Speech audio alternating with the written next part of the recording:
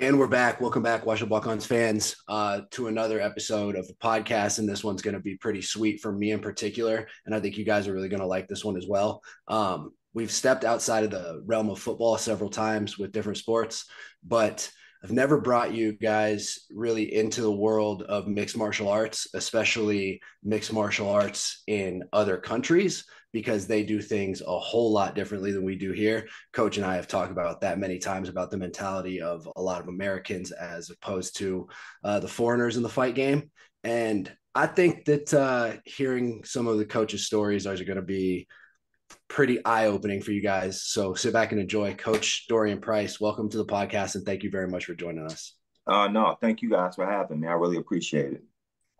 This is uh Cooper, what do you got for him, dude? I know you got a question queued up. You've been thinking about it for a while. I just I just feel like so for those who are watching the podcast today, Drake's camera isn't working for some reason. So he is he is his uh his better half today. It's just Kaylee on the screen. And I think it might be because Dorian probably had to deal with looking at your ugly face so much uh that that the the technology just was trying to help him out today. So no, I'm just I'm super excited to have you on, Dorian. This podcast, I don't know how much Drake has told you about it.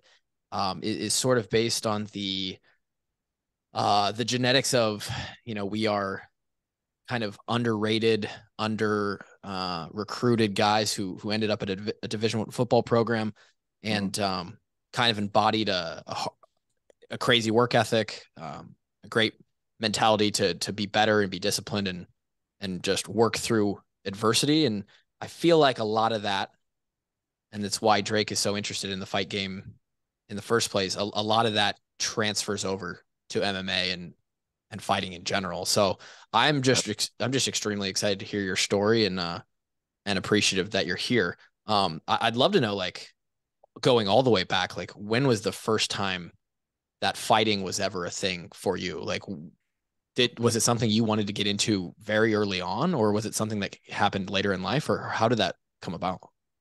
Um well martial arts was always like around. Um i guess um i'm i'm 46 now so when i was younger we had you know the saturday used to be a thing called kung fu theater. You used to have the old kung fu uh flicks on and then you had the wu-tang clan and uh so martial arts and even our our our uh our action heroes, or I should say my action heroes of the day were guys like uh Chuck Norris. Hell yeah. Bruce Lee. You know, the guys they, they were manly men and they they were all doing karate or some sort of martial arts and that's what kind of got me uh got got me uh interested in it. But growing up I was playing basketball and doing other things. It wasn't until I turned uh I think uh, 18, I started, uh, I ended up in Virginia Beach and uh, was looking through, they used to have uh, these magazines back in the day called Black Belt magazines. And in the back, they used to have these uh, uh, videos called Panther videos, the VHS days, and the Panther videos. And uh, inside, I saw a video of this guy because I had wanted to become a Navy SEAL. And so I saw mm. one of this guy that was a SEAL. And uh, he had cool videos, and then also if you kept flipping through the Panther, uh, excuse me, through the Black Belt magazine, they would have the list of the states, and in the states they would have the various uh, uh, gyms or whatever. And it just so happened that the same SEAL, uh, uh, uh, called Mr. C, he was uh, uh, uh, Virginia has a very large naval installation, and they have uh, the East Coast SEAL team stationed there in uh, mm-hmm. Little Creek amphibious base. So I just happened to walk. I saw that his gym was in Virginia Beach, and I was like, I was on the other side of the water, uh, which is called Hampton Roads. And I was like, man, this isn't far. So I just started driving down and walking to the gym. The guy became like a mentor, and there were a lot of SEALs there. There was regular people as well, but uh, that really shaped my mentality. And uh, fought a couple times there. Um, this is back in the the '90s where there was no athletic commission, so you pretty much just, uh, you know, you showed up and you and, and you fought. Um, and uh, yeah, then after that, I, uh, uh, I did a, uh, my first stint in uh in Thailand. You uh going all the way back to the very beginning of that, you said you're 46. You look better than most 30 year olds. So that's I uh, appreciate it. Inside, I'm probably 80. 80.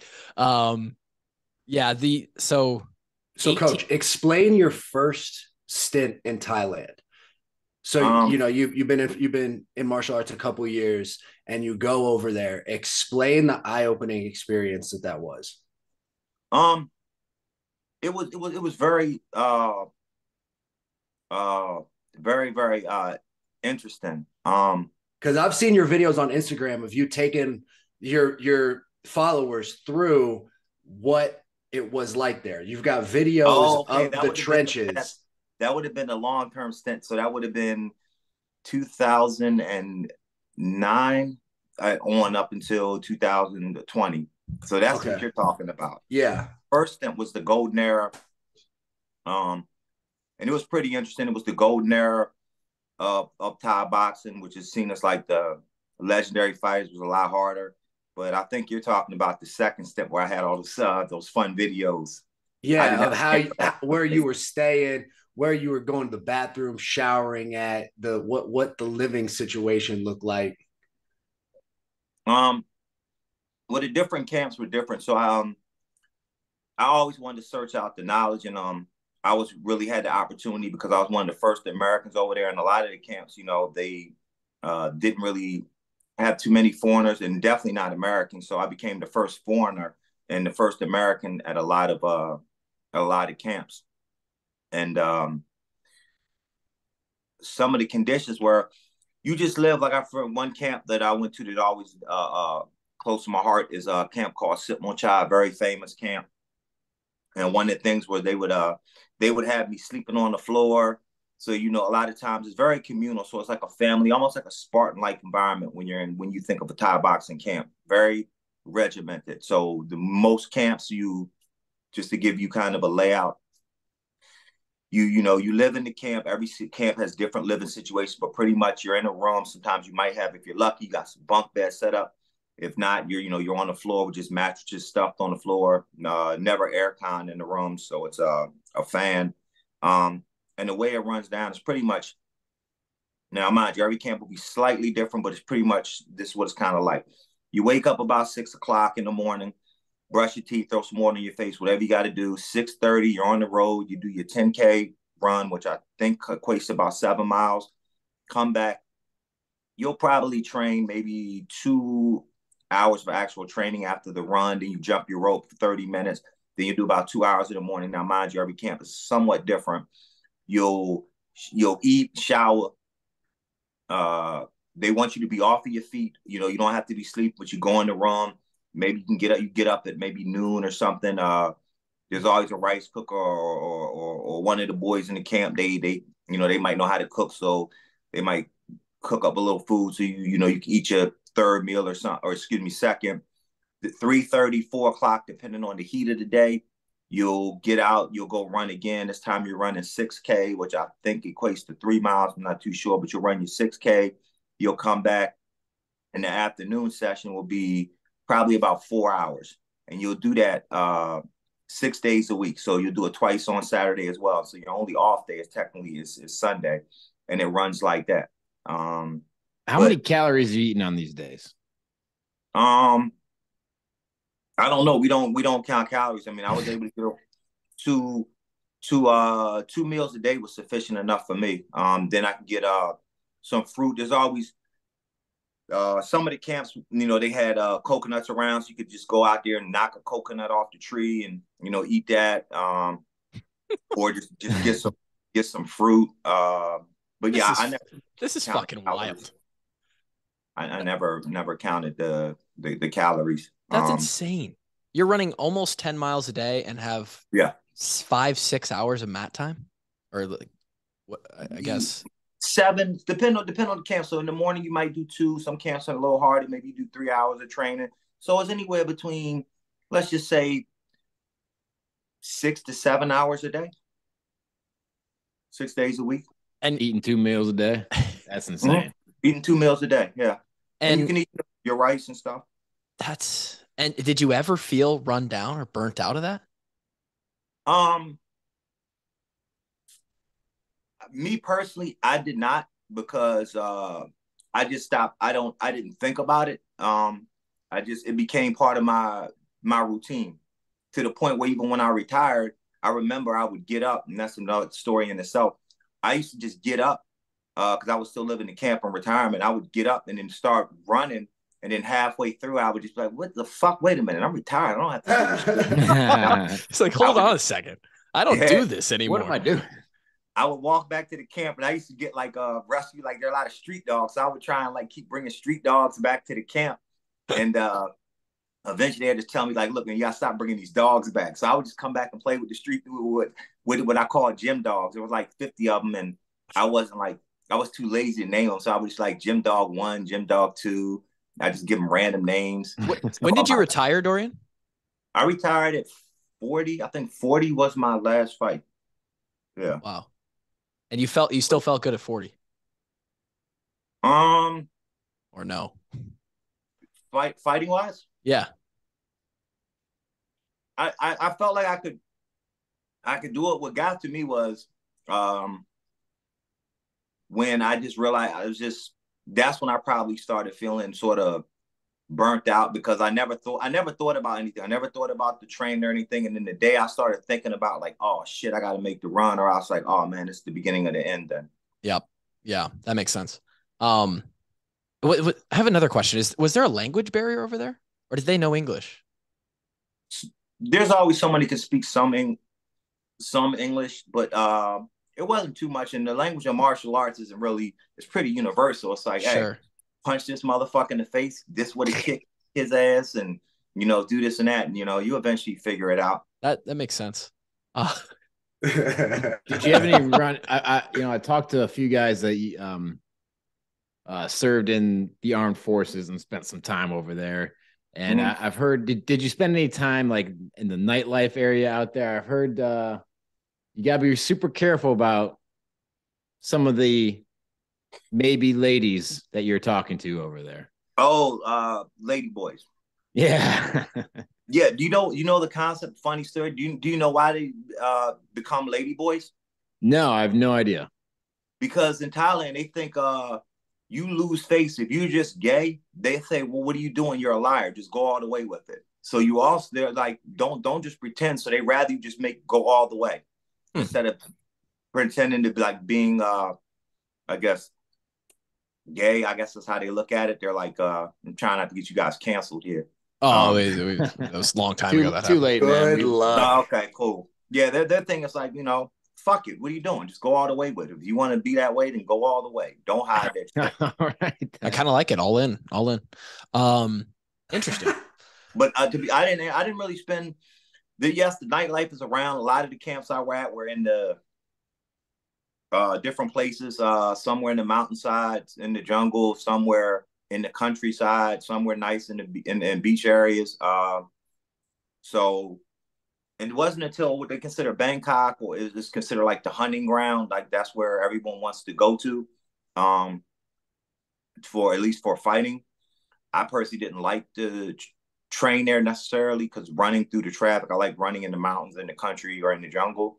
Um, but you, you see the nightlife, um, but surprisingly, you don't see them around all the time. It's kind of like you, if you're into that nightlife thing, you'll you'll run into them more. But they have their like certain districts, and for me, I didn't really want to partake in that because that's what what not what was not what I was there for. I was there Right. for the sole purpose of inflicting violence. And as a foreigner, and I knew I carried uh, for some situations, being that I was one of the uh, Americans over there, the, the the the first Americans to really, you know, myself and, and another friend of mine, Cyrus Washington, we were really so. In my mentality, I was like, look, I don't need to fuck this up because I'm not going to give America a bad rep because if I Mm. fuck this up, I might close the door on some other people. So I knew I had a sort of responsibility to uh, say, like, look, I mean, this, you know, I want to open the door for other Americans to come over. So for me, I had a little bit more of the the discipline part. Like, so I Yeah, that's sometimes go out, but you know, I didn't really partake partake in a night like too too much. Yeah, I love that out of you though. that, that's fairly incredible forward thinking by you, and and sounds very mature, especially for someone who you said you went over there at 18, or you- when did you go over there at first? Uh, yeah, I was uh, I think I was 18, 19. I just turned 19, maybe. What was the connection to to Thailand? Was there somebody you knew who had been over there, or someone who helped you get over there into those camps? Uh, well, you have to remember when I was born, so 1976, I think we brought the last troops back from Vietnam in 73. Mm-hmm. I think the war technically ended. So I had a lot of family that was in Vietnam and they would do a lot of their R&R in okay. uh, Thailand. So it wasn't a foreign concept. Like it was funny. I would have uncles that would tell me like, yeah, I went to this place and they do this sort of fancy karate. And I was like, what the fuck? like, yeah, some fancy karate. And they would tell me about it. And so it wasn't Southeast Asia was not a foreign concept uh, sure.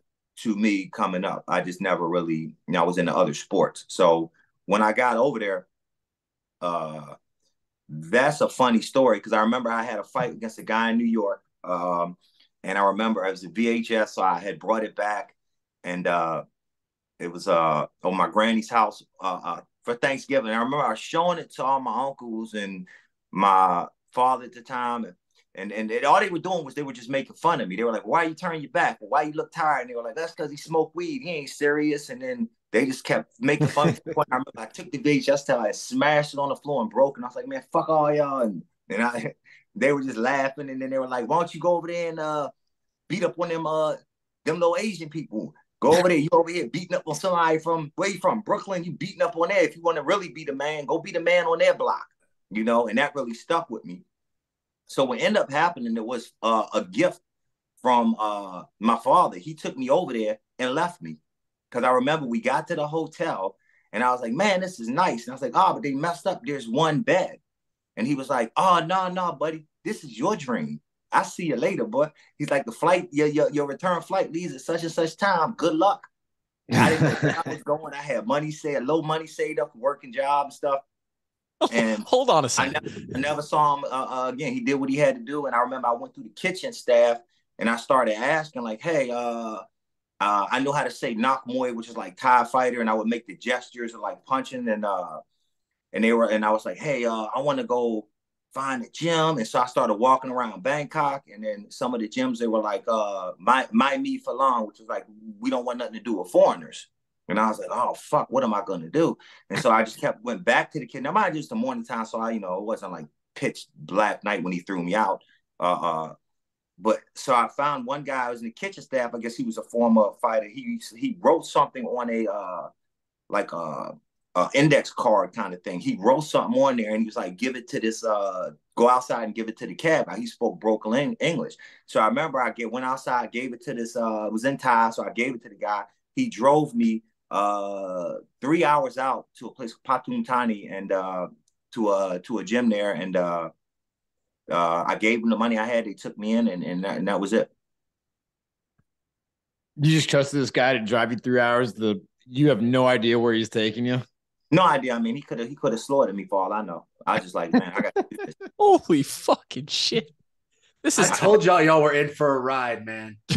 The Dorian happen. It could have it could have ended horribly. I mean, he could have put my, you know, he'd been a cannibal for I know, put my head on a stake or something and filleted my body. I don't know. I was like, this oh. is what This now, is just my father told me before he died, like this, hey, he's like, I would leave. I was like, all right, I found somewhere. He's like, all right, well, get your shit and go. And I was like, uh, because he had let me leave my bags in the room. To, all right, man, go ahead, man. I got business to take care. Get your shit and go on out there. And uh, he was like, oh, by the way, he's like, uh, I don't know if you know this. Don't get locked up in third world countries because shit might not be bad. Shit could be bad for you. And I, fuck. And that was it. Didn't see him. Uh, uh, he did what he did, and I stayed over there. Wow, this is um. That was the I, first thing as a teenager. So yeah, that's a wild story, but also this is just one of many uh, common instances in the in the people that Drake introduces me to. Drake is just like built ex- like you and you're Drake's kind of people, so this makes sense that you guys. uh, that's, that's, my boy. I love him, man. That's my bro. That's my bro. I'm glad Hell somebody yeah. does because I don't. Um, the uh, fuck that. I don't even know where to go from there. So talk to. I want to hear about uh your your impression of Drake when uh, when Drake started training with y'all. Like, what was your first impression, and how has he come along in the in the fighting world through your eyes? He's a monster. He's an absolute savage. I mean, he's going to do whatever he wants to do. I mean, athletically wise, I mean, his desire to to learn and discipline. I mean, all, all the things that made him, you know, uh, uh, uh, a great football player and, and help him achieve what he got. I mean, you can see it in the martial arts. So the sky's I, I, Are we, are we going to see our boy succeed in the ring sometime? You think? Absolutely. Whatever he wants to do, he's going to succeed at. Whatever he wants to do. I hate Shout hearing out. that. Appreciate you, coach. I'm glad I can't see your face, Drake. Um, that's um, he is uh, Drake's Drake's gifted. He he has some he has some talents. Very much so. Um, he uh, he he told us about. So you're in Nashville right now. Hell no. Not Oh. anymore. No, no, no. I'm in I'm in uh DC uh, uh Okay. right now. I'm Okay. originally from Baltimore, Maryland. Okay. Um, yeah, when once he started uh once he started up with jujitsu and and doing all this stuff, he's it's it seems that he comes back every month or so with some cool new guy he's met or some new coach or some somebody got to roll with and this Yeah. is just another one of those experiences. So this is this is really awesome. Um so you start training in Thailand. You're a young Mhm. kid. Mhm. What is at, at that point, what's the biggest uh where's your biggest gap? Like is there a day early on where you're like, holy smokes, I am light years behind these people? Uh, well, I I was humble enough and real re, real enough with myself to understand that uh, you know, there was going to be a huge uh uh gap because of the fact that um, you know, the Thais that they they they start at the ages of eight. A lot of times they'll leave Yeah. their village, and uh, if they excuse me, if they show promise, and they'll go and start fighting to make money uh for their family. So a lot of times by the time they're 16, if they don't have about 100, 150 fights, they're not really considered a prospect. And their prime is only technically from 16 to maybe 22. It's getting a little older now because humans are living longer, but mostly that's when they consider like the uh prime, what they call the stadium uh years, which is uh about 16 to 22. Wow. So I, I knew it was the gap, and then the the clinching was the biggest thing because their level of clinching is just in, in, incredible. Uh, I got a story of uh, there was one camp I knew that they would uh, they would clinch. So it's almost like a form. It's like wrestling, so but like what you can knee, you can elbow. Of course, you're not elbowing in the training, but you can. Uh, we play with the elbows, but not like uh, the severity of in a fight. Uh, but we knee and and and and clinch and uh just getting thrown on my head left and right. And and one of the stories, so this would be on my second stint uh there. Uh the there was a camp, and what they would do is they have a lot of times you have water buffaloes, and water buffaloes are are, are part farm animal, part uh part pet for some of the villages. And the boys would clinch in the camp, and then what they would do is they would get out of the ring after clinching, and they would start grabbing the, the buffalo by the horn and start trying to move it, and it's playing with them, and they don't realize they're actually getting stronger. So they would clinch with you, and they would hop out the ring, and they would go over to the water buffalo, and they would start like playing around with it.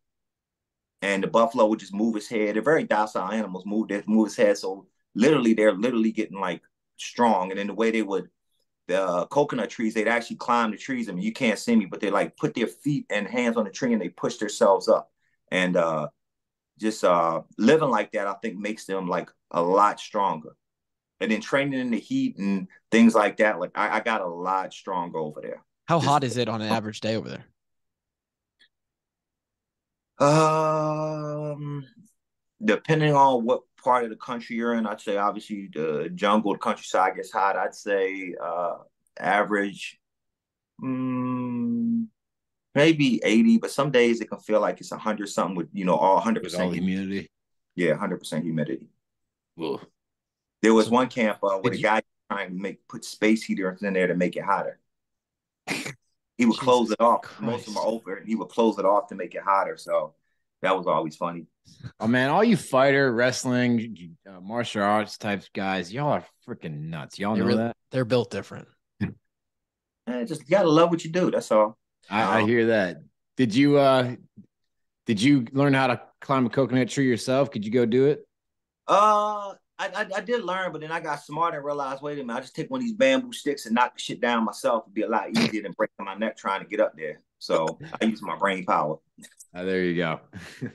That's um, But- uh, fuck. I, this is un. Drake, when you Coach, started tell here, him about hold on, Klug. Tell him about the uh tell him about the fight schedule that you have over there, the frequency of fights. Um, you'll fight. Okay, so as, as kids, I mean, I think the most I did in one week was three. Uh, in uh the, the you'll you'll fight on a regular uh basis, especially as kids. So you might fight in this in this in the, in the, let's say somewhere in, in the morning time on a Saturday. Then they'll check you the big boss or look to see if anything's busted up or anything, and then you'll go fight in the uh in the nighttime. So kids might fight four times in a weekend. They actually have a festival in the Tide, which is their version of New Year, um, because Thailand is actually on a different calendar than we are. So I forget. I think the year is 26 something now. Um, but their New Year, they uh in a place called uh Isan, which is where a lot of the fighters come from. Um, so think of Isan like New England. It's a lot of different provinces and places inside of there. Mm. Um, in a place called uh Buriram, they'll have a festival where they'll set up a ring you'll have referees and things like that, and there'll be actual fights. And sometimes you can fight, you can fight drunk, maybe the refs are drunk, and they're actually real fights. And you just fight, maybe you can fight four or five times on the day. Jesus Christ. Did you ever partake? No, I never went up there. I wish I did because a lot of boys would come back and I would always joke with them. We say, Hey, how many fights did you have? And they'll say, Oh, you know, I had five fights or I had seven fights. And uh and so they'll drinking have, and shit. And are they are they getting paid for all of these? Uh, those no, that's just like a labor love. But for the other fights, uh, yeah, we we get paid. But you have to think, you have to look at it like in a lot of ways for the Thais, it's like being a racehorse. So you can get traded. For instance, if I'm the big boss of a camp, and this isn't always the case, but if I'm the big boss and you're a big boss, well, I could bet you and say, okay, I bet you 28,000, which use US US dollars, 28,000 and my fighter wins. You could say, okay, but if your fighter wins, you could then say, and not only do I get the money, but I get your fighter as well. And then so my fighter has to then come to your camp. And he'll take the last name of your camp. And that's very common. That that's is common. It's not always the case. Uh, because you can so if you're the fighter and you lose, you just don't get much of a say. Like otherwise, you're getting kicked out of your home camp or what?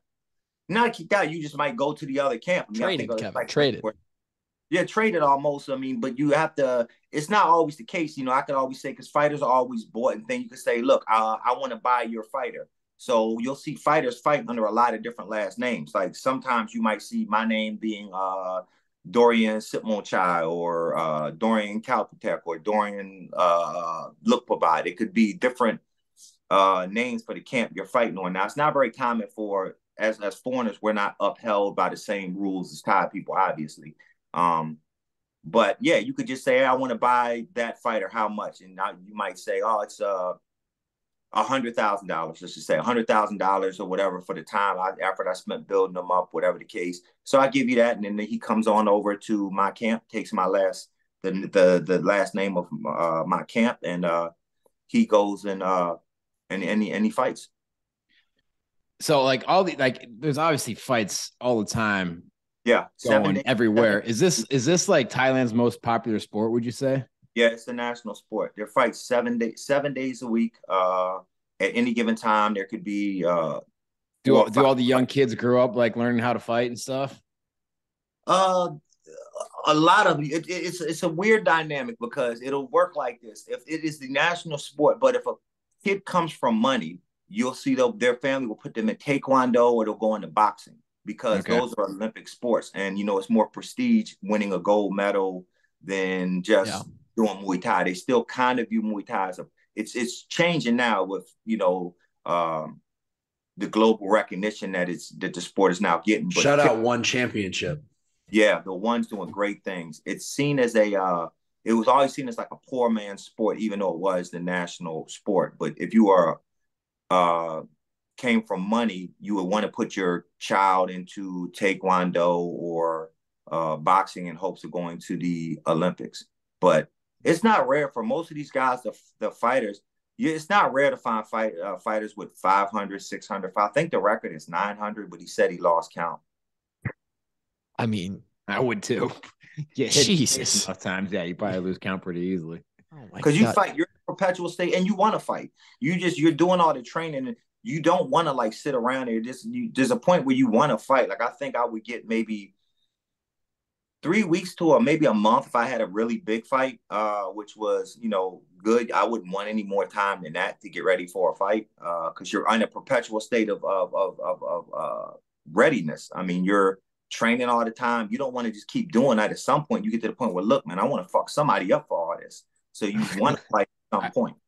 I hear that. I mean, that's playing football. That's like one of the things that I dislike most about the sport is, you know, the practice to play ratio is just mm-hmm. is horrible, right? You get to play yeah. college football 12 games a year max, right? Um, so I'm curious, like it, all these fights going on, like on a local, your local gym on a Tuesday night. How many people are from the from the town are showing up to these fights? Is it like a big affair every night? Like that's what you go to dinner, you go watch the fights, or what?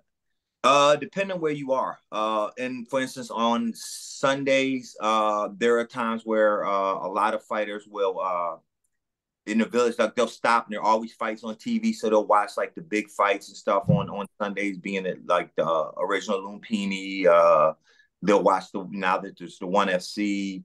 Uh, they'll watch those those type of fights because there's gambling going on all the time. But you might have smaller, excuse me, smaller venues like in the village or little stadiums like that, and they'll you know maybe go to that. But uh, it just depends on where you are. But yes, and for instance, when I retired, I started working as a commentator for a show called Max Muay Thai, and at one point we were the most popular uh, show around, and uh, we had fights seven days a week, and uh, I purposely lived down uh, uh, in walking distance from the from the stadium, and uh, yeah, you just getting a because I ended up going. That was my actually retirement fight, and I was invited to a camp there, and it was by invitation only. So you, there was the gym didn't even have a fucking address. I mean, it was just you had to fight on Max. It was invitation. There was no website. There was no way to come there unless you were invited. Um, so yeah, that was interesting. So we'd always have a uh, we were actually a sponsored gym for Max, so we all were contracted to fight on uh, the Max show. So it was uh yeah, it was it was, it was pretty fun. Like uh, the guys, when you know when we have fights, we all just go down to the stadium and uh, that's kind of how it works out. Like if you're um, near one of the big stadiums like Bangkok, you know everybody's coming out to watch. So I guess kind of where you're at. So so you were there. You said from 2009 to 2020. Uh, yes, right and, to start COVID. And the first time you were there, back when you were 18, lasted how long? That was a seven month stint. So that was a I, small, small time. Very small, very small. Yeah, because I had so, to come back obligations to, in the U.S. What? So how many total fights did you have when you were over there? Jeez, I don't remember. It's quite a bit. Hundreds. No, I didn't get the hundred mark. But Total I only have uh Dozens. 80. Yeah, yeah. It was it was it was a good amount. I think the most I had in one year was I want to say 20 maybe. Does so it really doesn't take, or at least for you, or for I guess for all of, if that's just kind of the culture of of the sport over there, is like the recovery for this. It, like it doesn't take much. It either doesn't take much to recover, or you're really good at recovering, or you just don't give a shit and you just fight. Know, your body, your body hardens. Um, and that's one of the things the big boss was. You know, they were they were really good about your your your body hardens. The more you fight, and obviously you're going to fight with a sense of IQ. So it's not so much like what you're used to seeing in the UFC or things where guys are I consider the striking level relatively low. It's starting to rise a little bit now, but uh, you're fighting with IQ, so you're not really just throwing wild stuff or just smashing your bones into other guys. Like you, you have technique with it, but through all the rigorous training, um, the bag work, the pad work, your body does actually harden, and uh, your bones uh, calcify. Uh, everything gets gets harder. I, and I believe, don't quote me but I think it was called it's called Wolff's Law. Like your body will adapt to the stressors that's placed placed upon it. So, for instance, like you guys playing football, your body does harden to the sport of football. Whereas if I was to go out and play football, my body would probably break in half because it's not conditioned. To the trauma that's required to participate in that sport. For my sport, my body was hardened for the trauma. For instance, I do jujitsu. Uh, I, I feel like I took 10 fights uh 10 Thai fights from doing jujitsu because my body. I go to one Thai practice and I feel like I just went through 10 fights.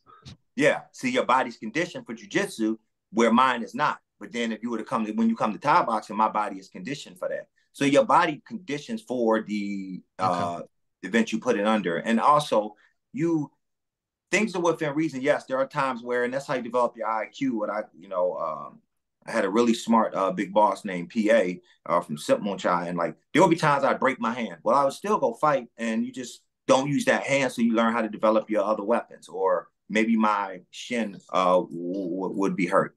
Because when I first went over the second stint, I actually lost my vision, and I never regained all of my vision back in my eye. So I learned how to develop sort of an elbow thing because I couldn't really see good out of one eye. And, and that's that's still something you deal with right now is a lo- vision loss.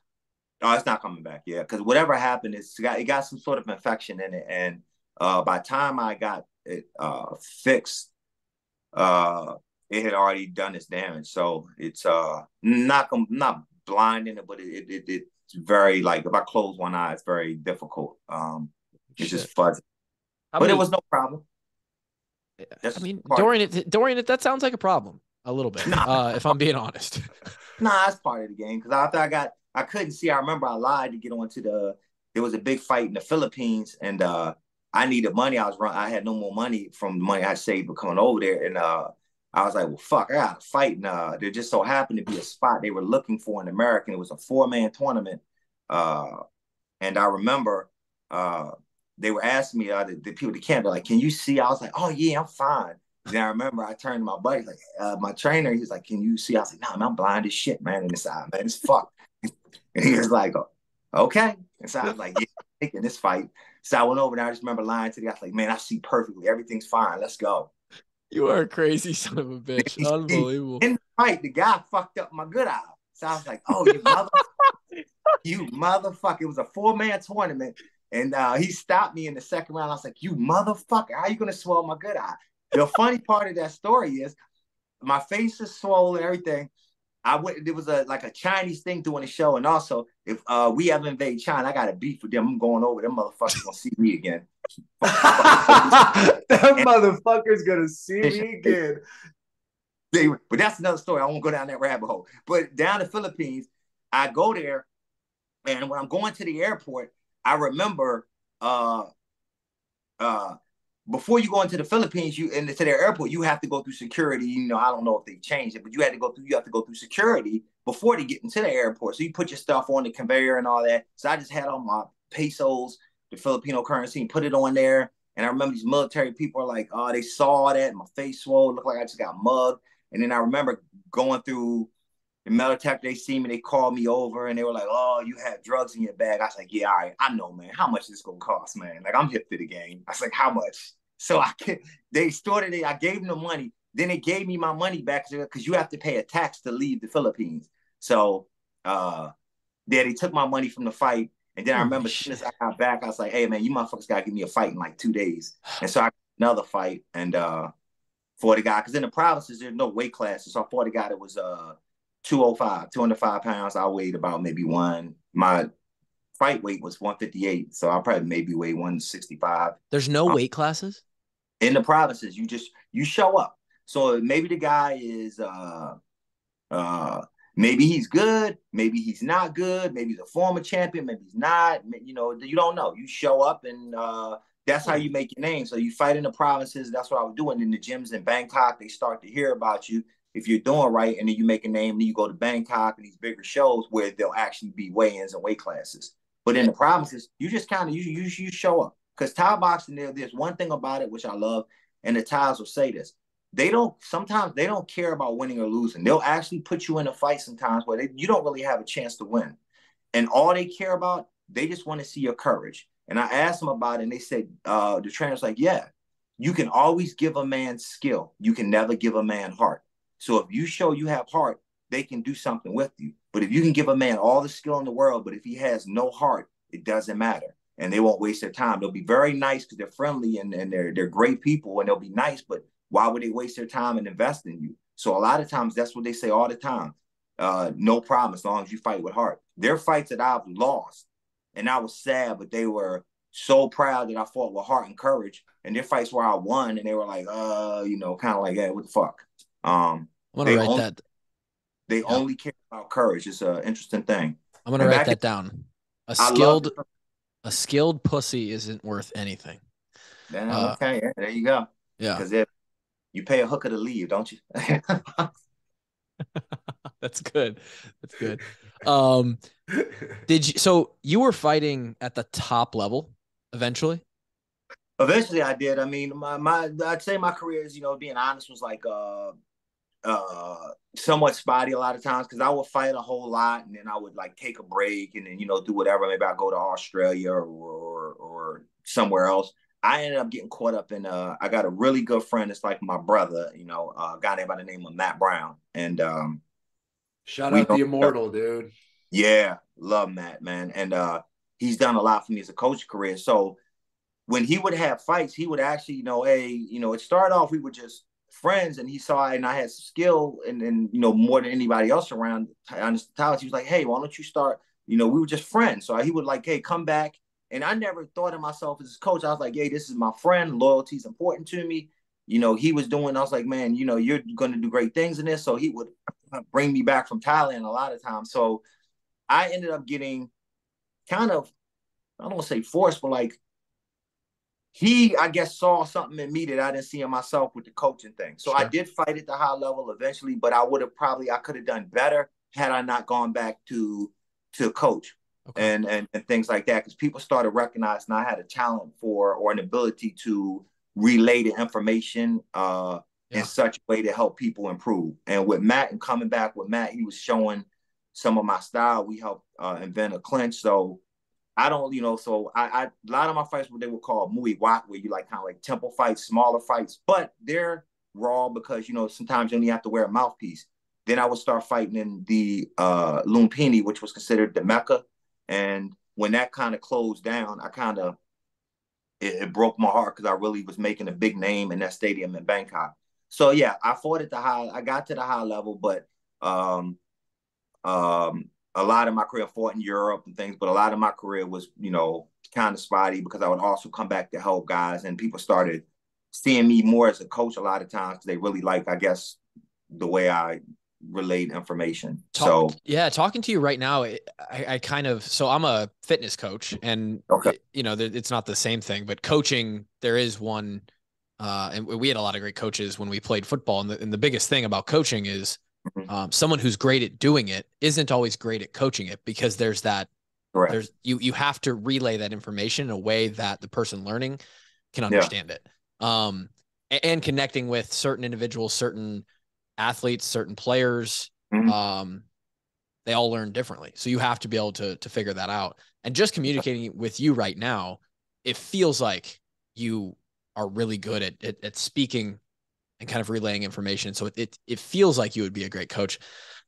In my opinion, that's the product of the people I was around. So I can't take credit around for all that because I was, you know, uh, blessed to be around uh, great coaches. Going back to my first instructor, Mr. C, the Navy, so I was talking about, just uh, they really shaped me because they say like, uh, I believe you have in this world is you have uh, when you become a fighter, you you experience two births and two deaths. So you have your birth with you come into this world, and then when you embark on this journey to be a fighter, you have another birth. And then eventually, you know, that will come to an end. Hopefully, you know, that dies before your life dies, you know, thing. Uh, yeah. So I, my birth into this was, you know, being around the SEALs and, and, and military people. So they really shaped my shaped me a lot in terms of if anybody's had the, the pleasure to be around special forces people, you can just see they have such an attention for detail. And that attention to detail instilled in me as a young kid because I was just a young punk. But that instilled that uh, attention for detail, uh, uh, attention at being honorable, and, and things like that. Though those are the life lessons that what I think a martial artist should embody. And uh, the things that they would see, the drills that they would give me, I used later on in my life, um, in, in my later in my career. But from there to being having the the, the, the instructors I had and Thailand to my sensei in, in Holland. Uh, uh, I've been very, very uh, uh, for even to the guy I'm working with now, the guy named Master Lloyd Irvin. You know, just being around these people was what has shaped me. And in a lot of ways, being around a guy like Matt Brown, you know, having a such a good friend like him, uh, he shaped me a lot of times too. Because part of it is I had to become humble, and being humble, I, I thought I always consider myself humble, but humility has helped me learn more than anything, knowing that okay, I don't know everything. So uh, being willing to uh, uh, that's what I say. If I was Matt's coach, I don't think I would have been as good. But being willing to say, if Matt says, "Hey, look, if you show me this Thai clinch this way, but look, I've been going to the Ohio State wrestling room, and you know we're doing this. So if I try the Thai way uh, against a good wrestler, they're just going to do this and this. So I was like, okay, let's play with it then. So we would experiment to the point where we started inventing our own clinch and uh, things like that. Or hey, I, I I saw this way of doing something. And Matt's a very very intelligent individual um, I saw this way of doing it, uh, uh, or a guy showed me this type of kick, and he would he would actually take me around to a lot of places.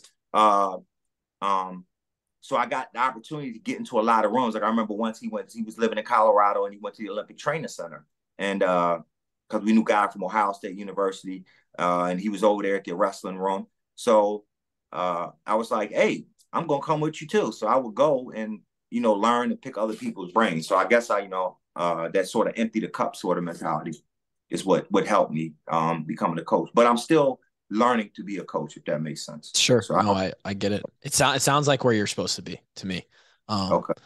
And uh, it's it's cool to listen to you talk about it. Um, I have only one more question, then I'll let these other guys. Uh, I, I want to go back to the training just for mm-hmm. this in general, eh, specifically over in Thailand.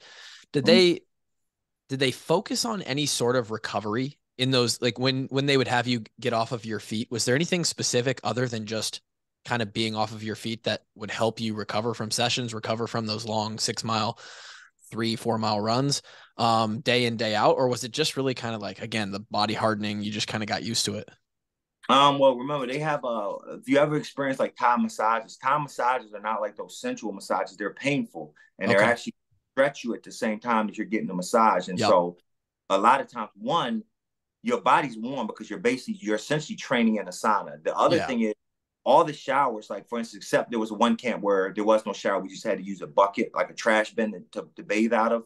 Cool. Uh, but most of the time, the garden hose, whatever we were using to shower, the water's cold.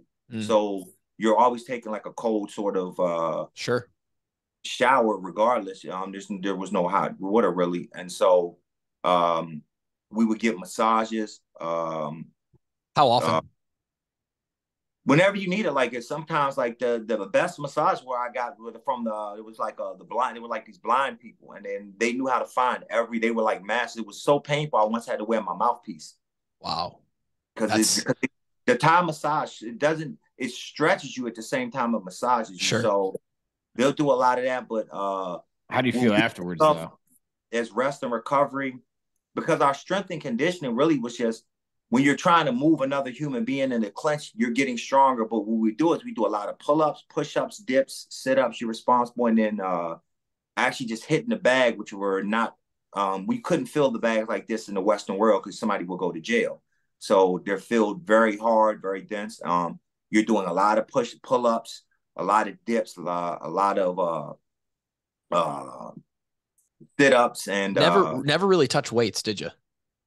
you would have, for instance, there might be a a barbell. We took like one camp, we had like these little paint things, and we filled it with concrete and put like a pole on the damn sure. thing, rusty as shit. And you would just do a lot of reps for that. Maybe you just do a hundred of them. You do cool. upright, do whatever. Hell but, yeah. Uh, what we think of as strength and conditioning is not so much because they were more focused on the technical aspect of it, of being technical and developing your power and things sure. like that.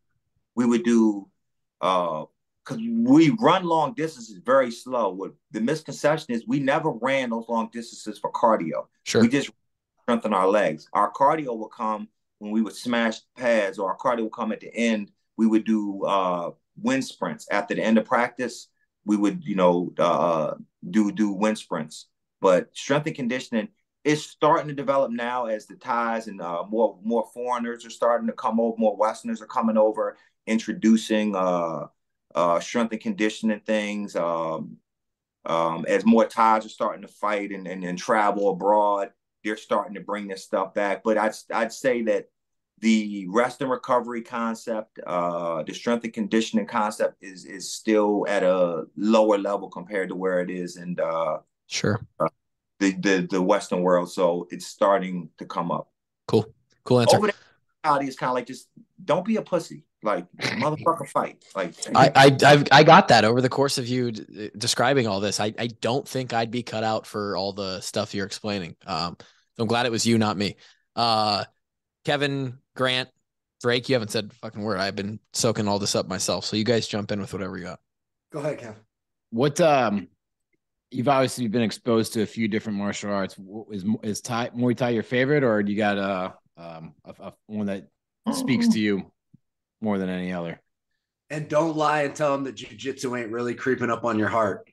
No, no, no. I love no look. I love jujitsu. Uh, I I love it because it's it's it's something you can do for the rest of your life.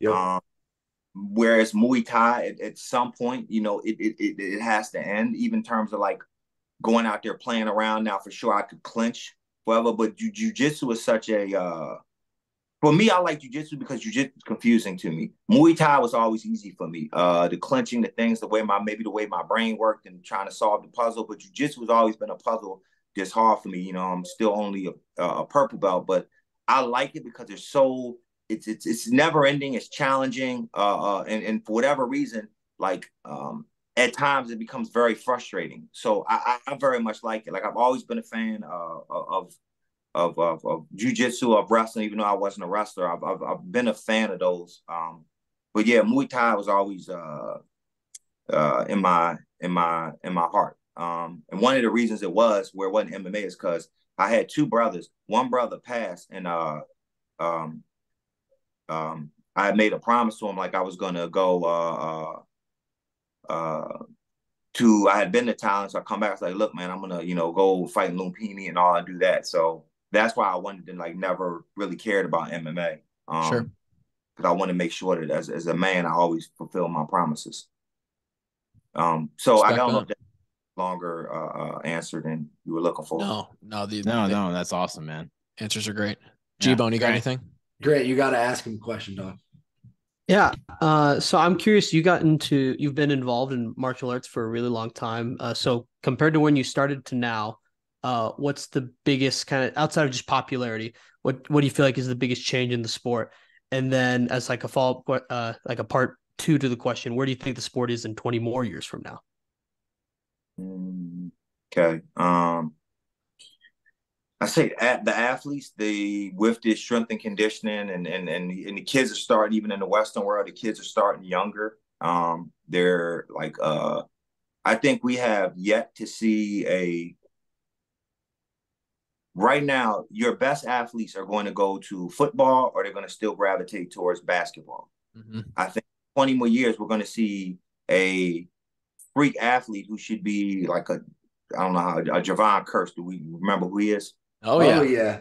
A, a freak, a freak athlete like that, or LeBron James. I think we might see one of those guys start martial arts and end up in MMA. You know, as opposed to on that path of of ending up in the NFL, ending up in uh, um uh in, in the NBA. So That'd I think cool. that 20, 20 years. I, I I hope I hope the money will will will allow that to happen. Uh, and, and I'm sorry, the other part of the questions. That, you know, you Yeah, answered it. Yeah, yeah. Yeah. no, I I think that's pretty much it. Uh, you, kind of uh, a. Oh, go ahead. I was gonna say, do you see uh like some of those tall, lanky basketball players being able to have success at like six eight plus, like uh in the martial arts game?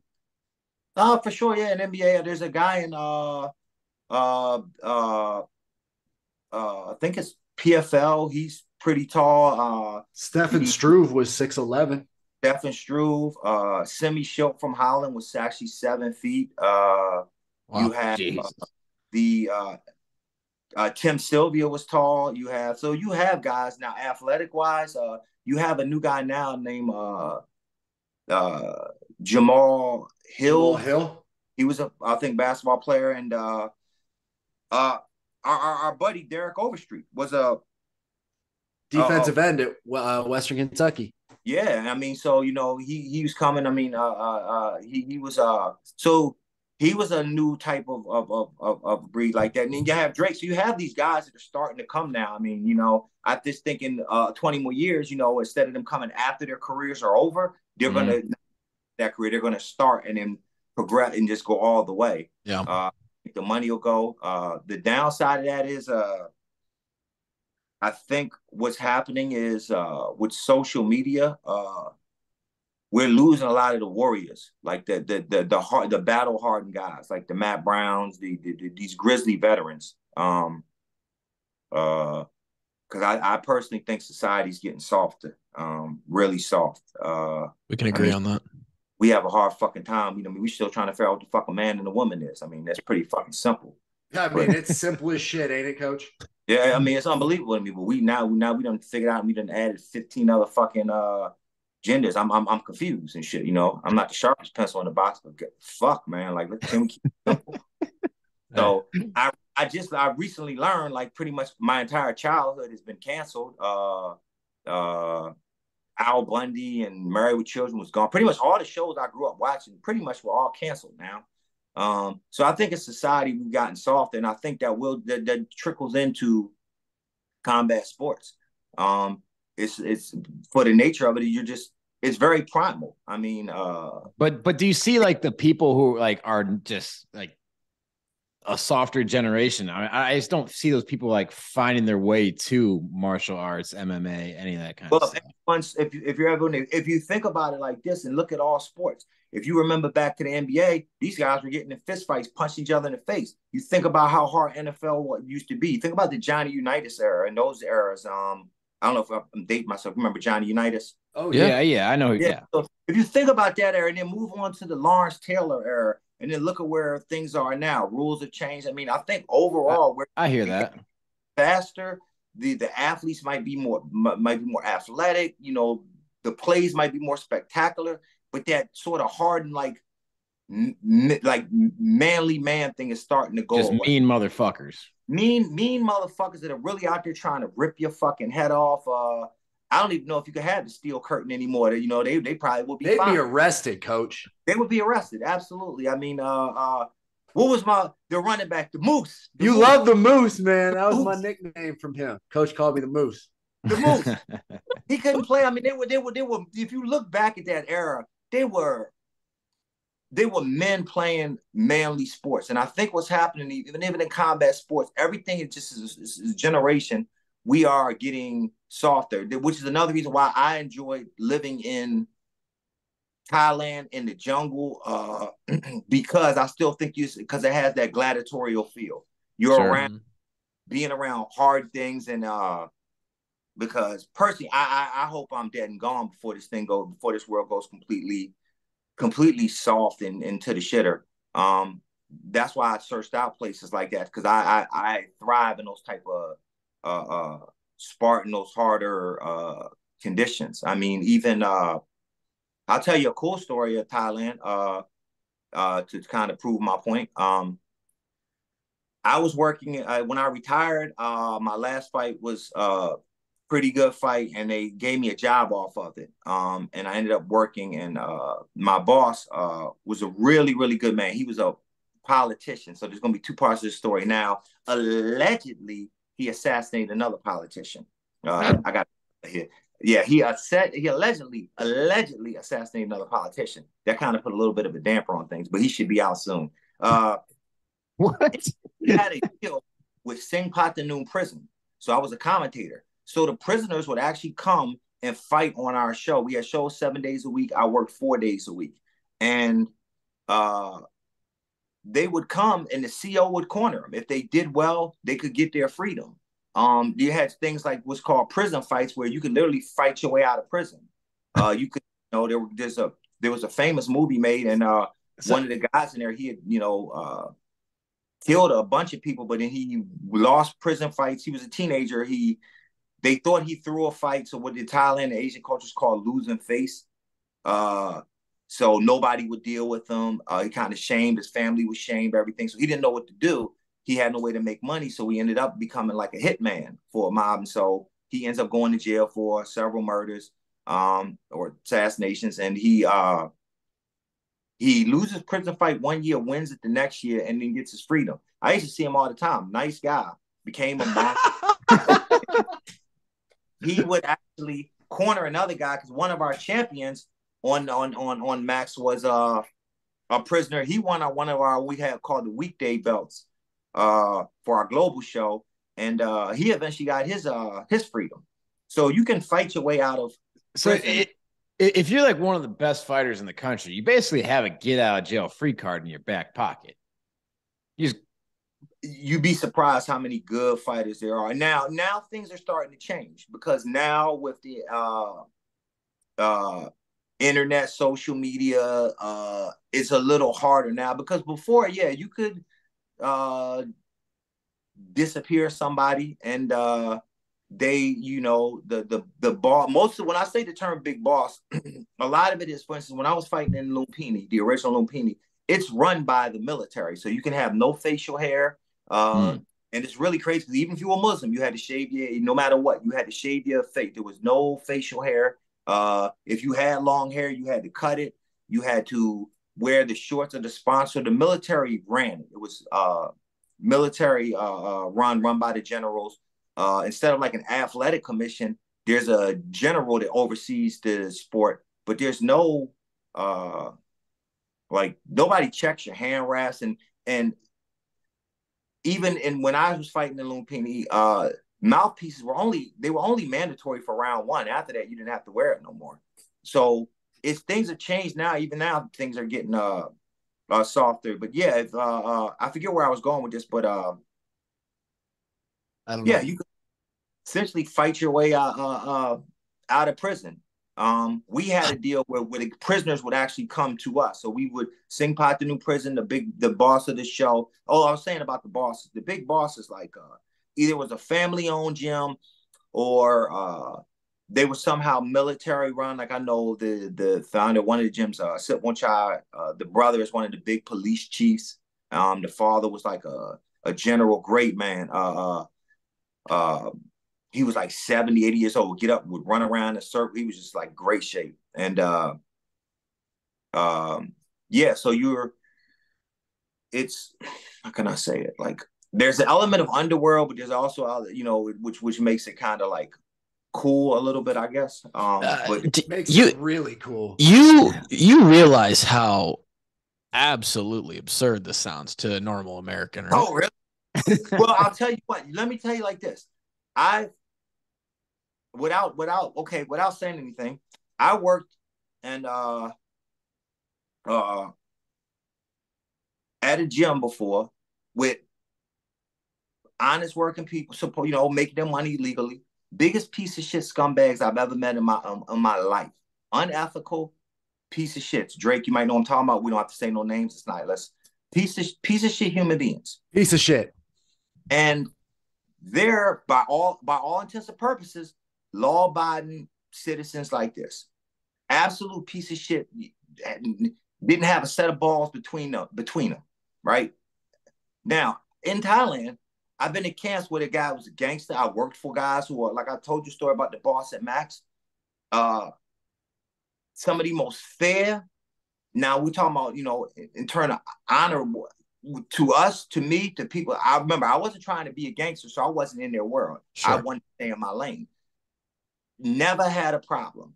Straight shooters told you exactly how it was things like that. So there is a very interesting, you know, dynamic with with saying that. Sure. I never the honorable criminal. In a lot of ways, you'd be very surprised. I mean, if yeah. you talk, if you you they like fighting, they understand there's a sort of underworld component to it. Now, were they all gangsters? No, but I mean, if you were dealing, I've, I've dealt in situations where I've worked for them from there to to to I mean I don't want to you know say too much, but worked around a lot in, in, in this fight world because there is a uh, uh, a, a, a relationship between gangsters and and fighting. It's always been, even going back to the Italian mob and boxing and sure push mob and boxing. I mean, it's, it's always been there, and I can say, you know, like so that right there kind of says we look at one side like like they're politicians who should be in fucking jail. Yeah, I, I get what you're saying. I get what yeah, I hear you. I hear you.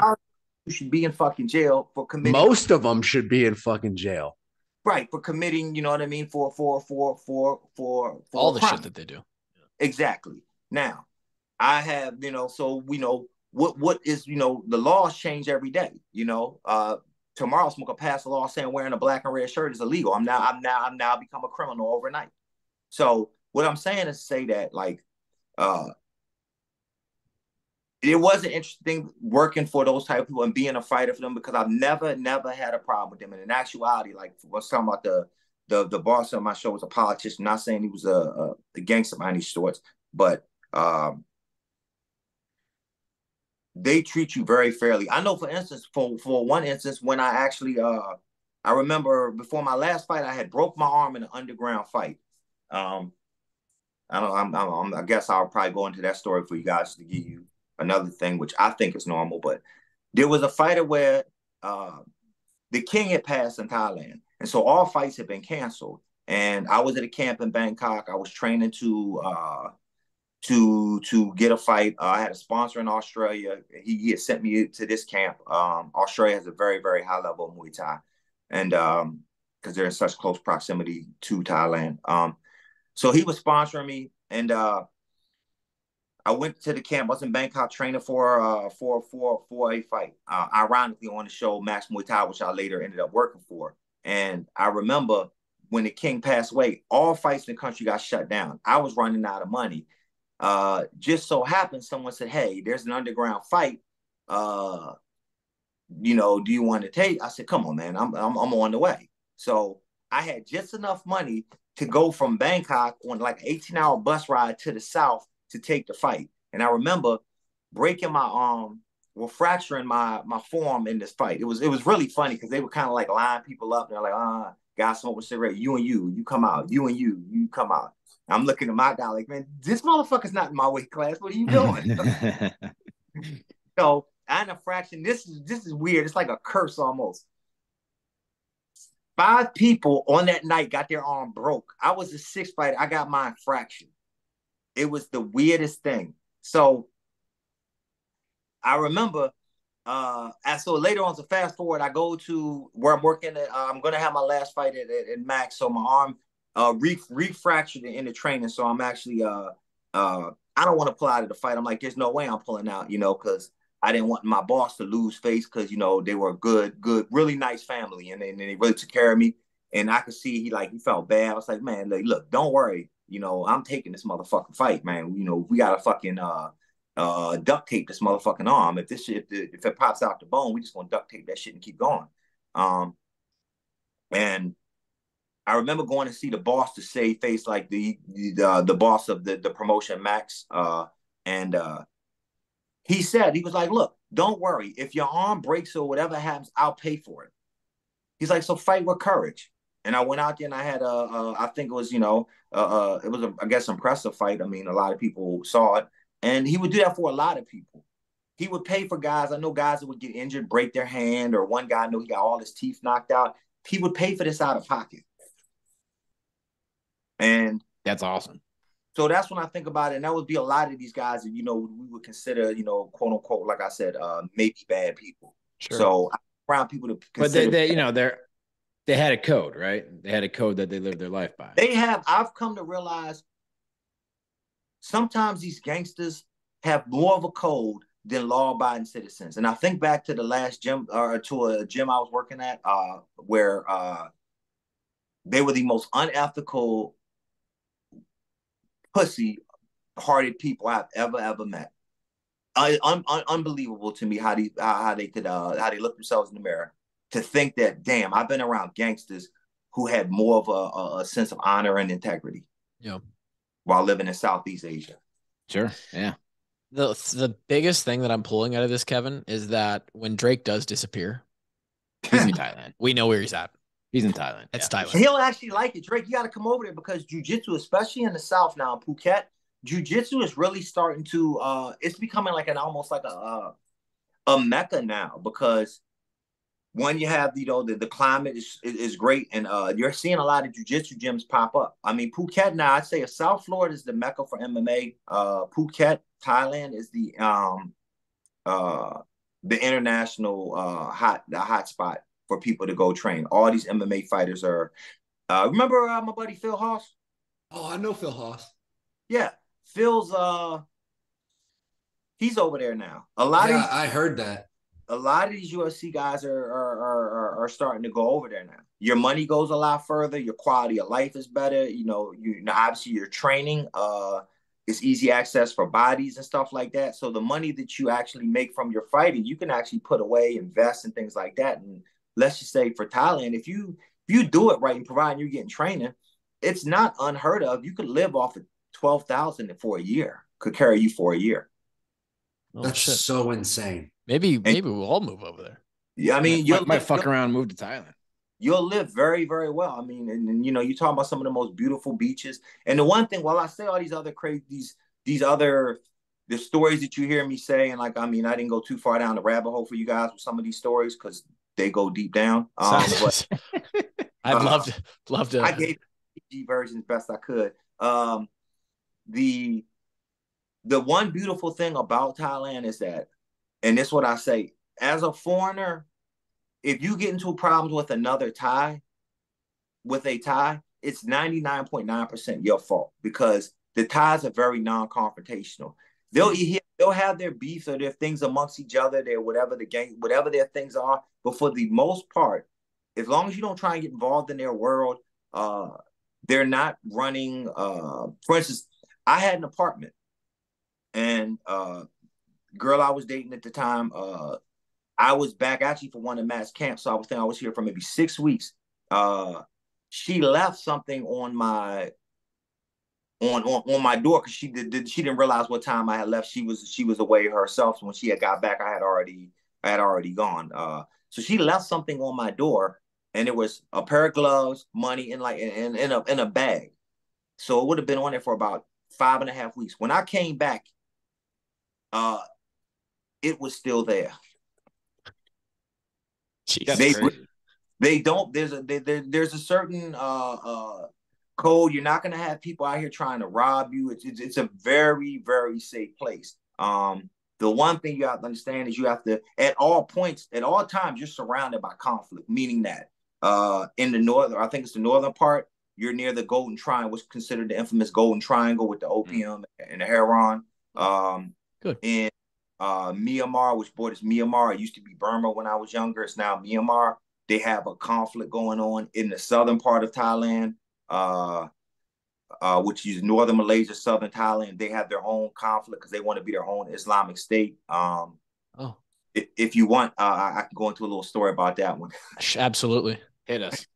I had a fight uh, called Thai fights, and it was in a place called Pattani, Thailand, which is in that area I was talking about. So Malaysia's Islamic uh, uh, uh, country, and that area uh, wants to be its uh, so northern Thai, northern Malaysia, southern Thailand. They want to be their own sort of Islamic state, and uh, it's in the jungle. Beautiful place. So there was the first time to show Thai fights. It was huge show, real popular. Um, a lot of the best Thais versus foreigners are fighting on there. So I was golfing to fight on there. Never been down there before. And I remember there was no Air Force base. So we had to leave from the Royal Thai Air Force base on them like a military plane. When we and the people at the camp would always tell me like the Thai was like, oh yeah, yeah, their bombs blow up all the time there. They like laughing like, and it's funny. It's like Thais don't have a word for extreme, right? So no matter what, it's always die. So if you're sick, they're like, oh, we think you die, sure. Like everything is if you're getting beat up bad, like, oh, why you die, man? Like, there's no word for extreme. It's just die. So, wow. We go on the plane.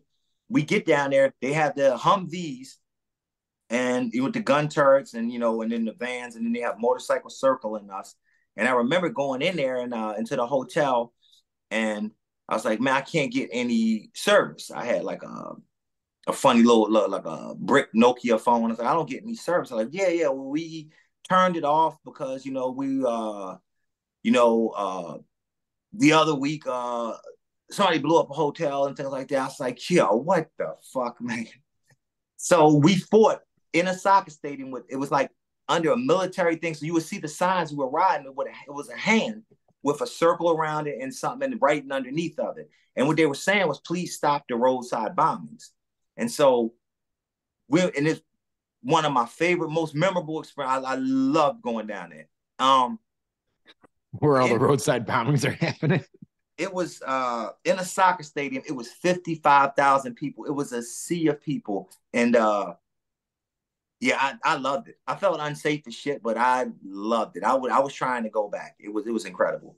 Um, So that was like Pattani. So I was saying to say that at all times Thailand is surrounded by conflict, but inside of Thailand is it's very very uh, uh, uh, peaceful in terms of you know as long as you you know act with with like anywhere else. If you act with respect to people and everything, you won't have any problems.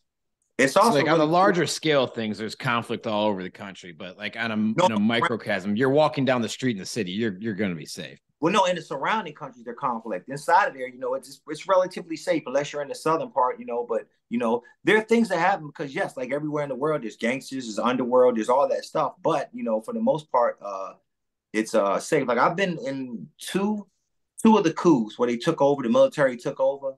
Um, didn't bother me. I mean, I, I didn't like. I actually flew back into one of the coups, man, a fight, and then I remember his uh uh wife was saying like, "Oh, the news. There's a there's a coup in Thailand. What are you doing? What do you want to do?" I said, "Look, man, is the fucking plane gonna board?" I said, "Then I'm gone. I'm going back." And Holy smokes. As long as they still allow fighting, man, that's all you need to know. I was like, I didn't give a fuck if they didn't allow fighting. I was like, look, I'm going back to where the action is, man. That's my home. I'm flying back there. As long as the ball, I was like, my whole thing was, I just need the plane to land. Once it lands, I'll figure out the rest, man. I mean, I'll, I'll navigate my way through the rest of it. So I've would been- you would you So- feel safer walking down the street and most of the cities in, in Thailand versus like some of the rough areas in DC, Baltimore? Yes. And you mean in Thailand? Yeah. Yeah, because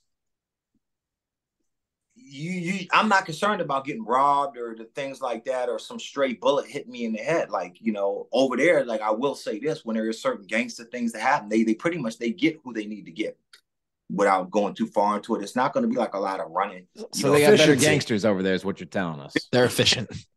Yeah, if you're the target, you're going to they're going to get the target. Where here, you know, they're liable to, you know, there's no aim. These guys, you know, they they any they just shoot indiscriminately, very sociopathic with, uh, uh, with it. So I, I yeah, I would feel much safer in Asia. The only place I felt nervous would have been the Philippines, and I love the Philippines. It's my favorite place to fight to go. I love the Philippines, but in Manila, it can get a little little sketchy.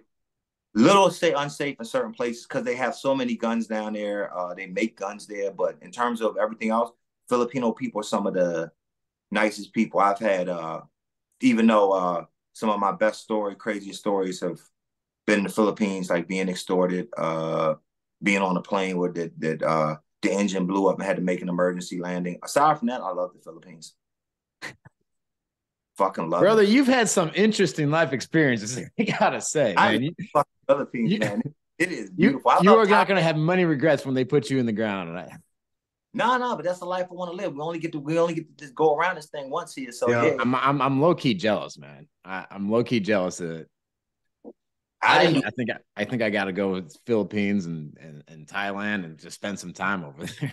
Go over there, man. I look. There's nothing special about me. I'm a regular person. Anything I've done, anybody can do.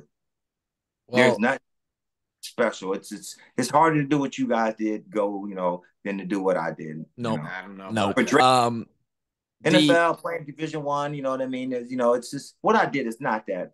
It's not that difficult. You just have to have a a, a, a good pair of balls and some heart, and you can do it, and, and a willingness. It's a good. Uh, that's a good way to to live life. I think. I I, I know this. You've given us uh, a lot of your time tonight, and and I I appreciate it a lot. Drake, if you have anything else you want to bring up or, or talk about, go for it. Otherwise, Dorian. I told uh, you that he was going to melt your guys' brain. Yeah, we're gonna have to have him I- back. We're I gonna have to have him promised you like that you 10-part had- series. I promised you that you had no idea what was coming, and I fucking knew it. Coach, you knocked it out of the park, man. The, you are about to you're about to gain a lot of fans out of the Midwest United States that you didn't know were coming because you just blew a lot of people's I'm- minds. Midwest origin She's from Columbus, Ohio. I love the Midwest. Yeah. It's a good place. Uh, Um, most of our fans ain't gonna love Columbus, Ohio, but we we'll uh Oh, the Hawkeyes don't like the Buckeyes, huh? no, well, they don't much, like man. us as much, man. We shitted in their uh, Cheerios not too long ago. Yeah. Oh, really? Really? I Well, they they got us back. They they got us Yeah, back. they yeah, got us back but pretty they're good last- supposed to get us back. They've still not recovered from the one that we gave them. It's probably true. Um, Yeah. bad recruiting year. Uh, we talking about football here because the wrestling is uh kind of always neck and neck here. Yeah, yeah, that's that's a good wrestling mi- ma- rivalry too. Uh, Yeah. arguably probably two of the top five uh, programs in the country. How's the football looking? Ohio State was always like uh all the teams I remember coming up, it, it has shifted. So Our now- senior year, they came into Kinnick and we beat them 55 24. wow, Hung a 50 burger on them. Yeah, we- nice. we, caught we caught him on a, on a hell of a day. Um, nowadays they they pretty much run the show in the Big Ten, uh, and and always compete it's been nationally. Michigan the last couple of years, but Well, yeah. that's true. Are they in the Big Ten? They didn't move to the or no, the ACC teams moved to the Big Ten, right? Couple. Wasn't it Maryland? Yeah. Maryland and uh, Rutgers. did, yeah. Rutgers. Are they getting smoked? Because I always wondered how an ACC Yes, team. they are. Yes, they are getting shitted on. Yeah, I would think they don't have the completely different game. They're not ready to handle that type of uh, uh Big Ten type of game. Correct. Uh-uh. Correct. Um, there's probably about a thousand different directions that I could take this, but uh, I that's that's that's my time for tonight. I, I we'll we'll have you back sometime, Dorian. This was fucking awesome. I try to keep it PG for you guys, and I hope I did a good job. Next It was time we'll phenomenal. Yeah. I was I was absolutely loving it watching these guys' reactions because I've heard some of these stories. Some of them were new stories, but I had the idea of what was coming, and uh, they had no idea. They just learned about a whole different side of Earth that none of them knew existed, and there's going to be thousands of people who are going to have the exact same experience. So very, very much a pleasure to listen to that one. Thank you. I hope I hope I kept it humble enough, man. And, Oh, uh, you you're fantastic. Pleasure meeting you and, and and thank you again for your time. Um thank you for everyone that listened, the thousands of people Drake just mentioned, I I hope you had a, and as as entertaining time that I did during this. Dude, that was epic. and uh we will talk to you guys again on the next show. Um until then, peace.